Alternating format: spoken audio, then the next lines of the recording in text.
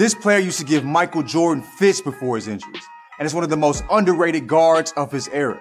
He was a dog in college, averaging 24 his final two years at Miami, Ohio, and graduated in the top 10 in scoring, rebounding, and assists for that year. From Dayton, Ohio, and the eighth pick in the 1986 NBA draft, we're talking about Ron Harper. Ron hopped into the league averaging nearly 23 a game and averaged around 20 his first eight seasons in the NBA.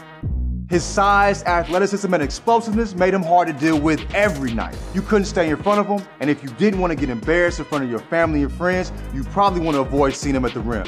His athleticism also made him a menace on the defensive end, and players in the league said he used to give the great Michael Jordan fits. Injuries changed his game, and he wasn't the same player by the time he played for the Bulls and the Lakers. Still won five chips though, you feel me? But for nearly a decade, he was a problem in the NBA. I know y'all ain't forgot about Ron Harper.